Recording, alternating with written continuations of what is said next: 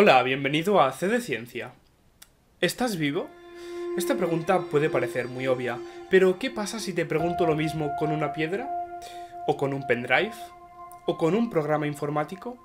¿O con el mismísimo universo? La definición de la vida es complicada. De todas esas cosas seguramente pensarás que solo hay una que está viva y esa cosa serás tú. Pero en función de qué entendamos por vida, cosas que nos podrían parecer que están muertas o que no tienen vida, están vivas. Y cuando las cosas se empiezan a mezclar, cosas que aparentemente no tenían nada de vida pueden parecer más vivas que cosas que estaban vivas.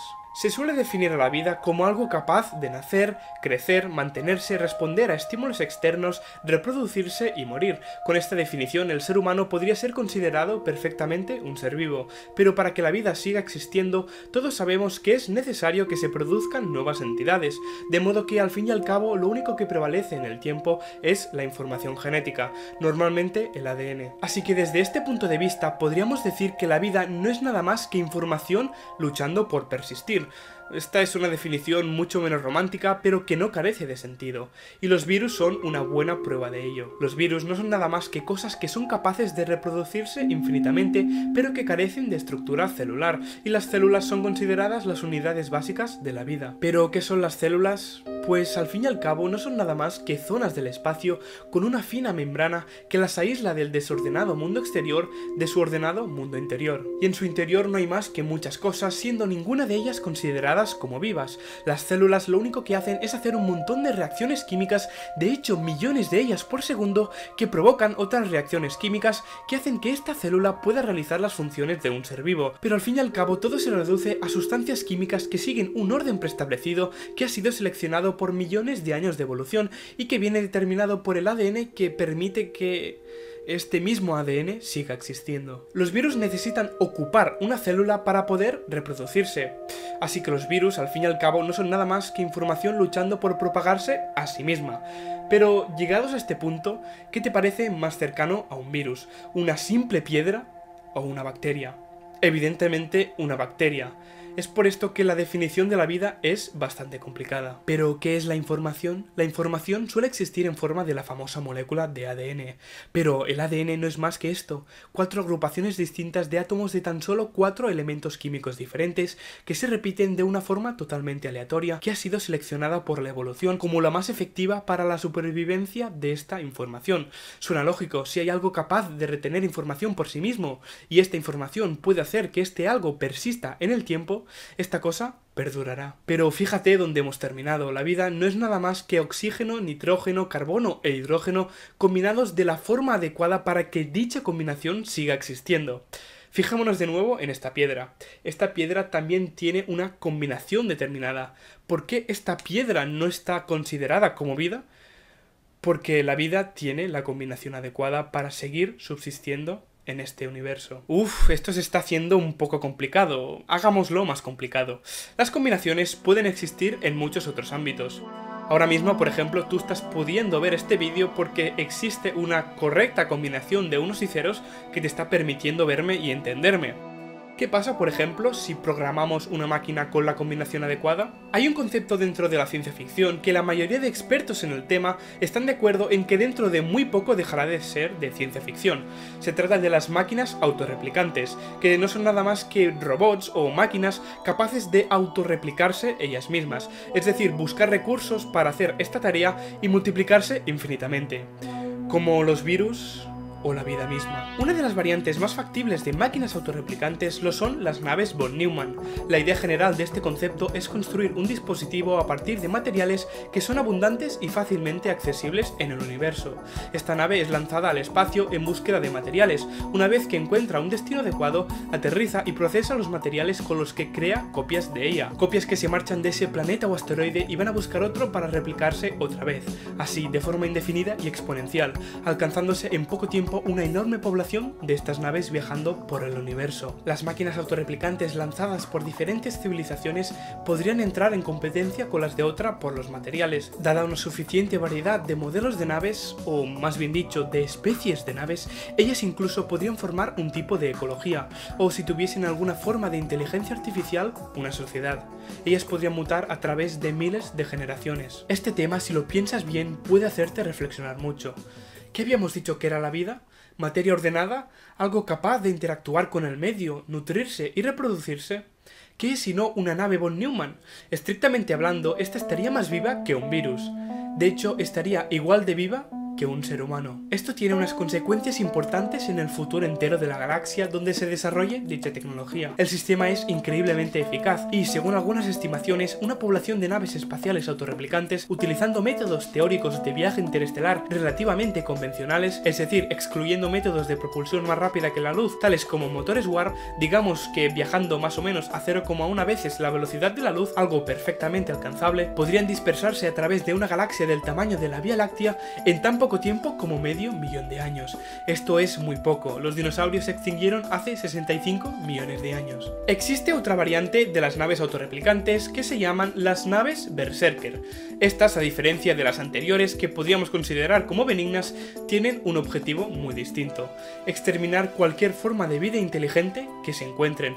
Esto podría ser creado o programado por una civilización xenofóbica o con simples fines de colonización, o simplemente podrían surgir a partir de sondas von Neumann que padecieran un error en el código, una mutación que hiciese que se convirtiesen en naves berserker, tal y como ocurren cambios en el ADN de los seres vivos. Si una sonda autorreplicante encontrase evidencia de vida primitiva, como por ejemplo una civilización como la nuestra, que es de tipo cero, simplemente podría permanecer en estado latente en un satélite como la Luna, en silencio, esperando a que la civilización evolucionase hacia una civilización estable de tipo 1. Después de esperar en silencio durante varios milenios, podría ser activada cuando la emergente civilización de tipo 1 fuera lo suficientemente avanzada como para establecer una colonia lunar. Y te preguntarás, ¿por qué esperaría? Por varios motivos. Por ejemplo, para no gastar energía ni recursos en una civilización que podría no llegar al tipo 1 y por lo tanto no suponer una amenaza. O, por ejemplo, para aprovecharse de que la civilización ya habría extraído y condensado los materiales necesarios para replicarse, ahorrándole un enorme gasto de energía y tiempo o simplemente para avisar a las demás naves en el momento en el que fuese necesaria la invasión. Esto te puede parecer una locura, algo de ciencia ficción, pero realmente no es tan descabellado pensar que puede que tengamos en nuestra querida Luna o en cualquier otro cuerpo de nuestro sistema solar una nave asesina escondida esperando a que empecemos a colonizar el espacio para exterminarnos. Pero espérate porque esto no acaba aquí. Otra variante de la idea de naves estelares autorreplicantes es la de una nave sembradora. Tales naves podrían almacenar los patrones genéticos de formas de vida de su mundo natal, quizás incluso de la especie que la creó. Al encontrar un planeta habitable o incluso uno que pudiera ser terraformado, trataría de replicar tales formas de vida, ya sea con embriones almacenados o simplemente a partir de información almacenada usando nanotecnología molecular para construir cigotos a partir de materiales en bruto locales. Esto aún te va a sonar más a ciencia ficción y más raro que lo que acabamos de decir, pero puede, y es simplemente una teoría, que los primeros organismos que poblaron la Tierra fuesen hijos de naves autorreplicantes sembradoras, obviamente hablando de microorganismos, de organismos unicelulares, pero al fin y al cabo hijos de naves autorreplicantes. Llegados a este punto, estoy más confuso que cuando empezamos. ¿Qué es realmente la vida? Pero espérate porque aún queda lo mejor porque aún nos queda otro ámbito en el que establecer las combinaciones adecuadas. ¿Qué pasa si cogemos un ordenador y establecemos un sistema con las leyes determinadas e introducimos la combinación adecuada? Esto es lo que se preguntó John Horton Conway. Diseñó un programa informático muy simple llamado el juego de la vida. El tablero de juego, es decir, el análogo del universo, es una malla formada por cuadros que se extienden por el infinito en todas las direcciones. Cada cuadrado, que podría ser un átomo, tiene 8 cuadrados vecinos con los que interactúa. Los cuadrados tienen dos estados, encendidos o apagados. El estado de este universo perdón, tablero de juego evoluciona a lo largo de unidades de tiempo, se podría decir por turnos, en función de las normas, que son las análogas de las leyes físicas del universo. Por ejemplo, dos cuadrados juntos se mueren, pero tres cuadrados juntos crean otro cuadrado. La imagen que estás viendo no es más que el comportamiento de determinadas combinaciones de cuadrados en función de las reglas del juego. Básicamente lo que hizo Conway fue crear su propio universo con sus propias leyes físicas e introdujo una combinación. A partir de muchas combinaciones, de muchas pruebas y con el paso del tiempo, hemos encontrado algunas combinaciones que podrían explicar cómo surgió la vida de la nada. Lo que estás viendo ahora mismo no es más que el juego de la vida, no es más que la interacción de muchas entidades a la vez, entidades que, rigiéndose por unas leyes físicas con una combinación inicial aleatoria, son ahora capaces de interactuar entre ellas, crear un sistema ordenado y reproducirse, produciendo réplicas de conjuntos de ellas mismas, o aumentando su tamaño, o desplazándose, o creando nuevas entidades completamente distintas. ¿Te suena esto? Sí, es lo que estás pensando. Esto podría ser perfectamente considerado un ser vivo. El juego de la vida tiene consecuencias increíbles en nuestra comprensión de la vida. Físicos, matemáticos, biólogos, científicos de todo el mundo lo ven como una prueba de que en un universo con unas leyes físicas determinadas, en el que aparezca de forma aleatoria la combinación adecuada, puede surgir la vida de la nada. Pero hemos hablado de un universo con unas leyes físicas determinadas, unas leyes físicas como las del juego de la vida, porque se han creado muchos otros universos muchos otros tableros de juego con unas leyes distintas que nunca han generado esas estructuras o asociaciones parecidas a la vida. El físico teórico Lee Smolin expone en su libro The Life of the Cosmos su teoría de la selección natural de universos, una teoría que dice que dentro de un agujero negro, cuando éste colapsase, se podría formar un nuevo universo. Este universo hijo tendría leyes físicas similares a las del universo padre, aunque con algunos cambios, proporcionando la variabilidad genética requerida por la selección natural.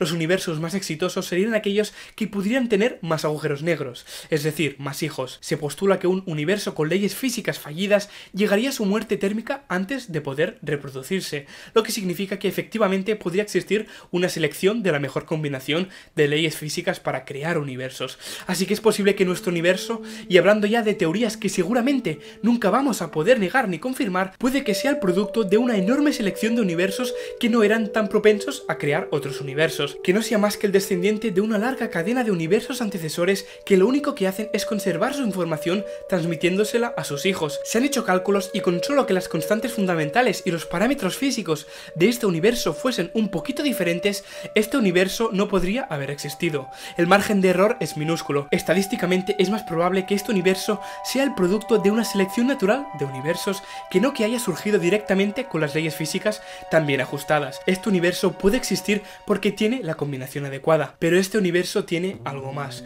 Sus leyes físicas son además las aptas como para que pueda existir vida en él. Aunque todo es relativo, se trata de las mismas leyes físicas las que mantienen este universo vivo y las que mantienen la vida viva. El universo en sí, de ser cierta la teoría de Smolin, podría entenderse como un ser vivo, con sus padres y hijos, únicamente existiendo para poder hacer que su información persista, al igual que lo hacen los seres vivos. Llegados a este punto solo me queda preguntar, ¿qué es la vida? Muchas gracias por ver el vídeo y adiós.